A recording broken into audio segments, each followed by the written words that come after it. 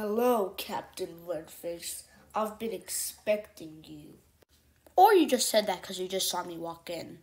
Wait, but how do you know my name? What? No, that's not the point. The only reason I'm here is because my beautiful, amazing master sent me to kill you. Simple.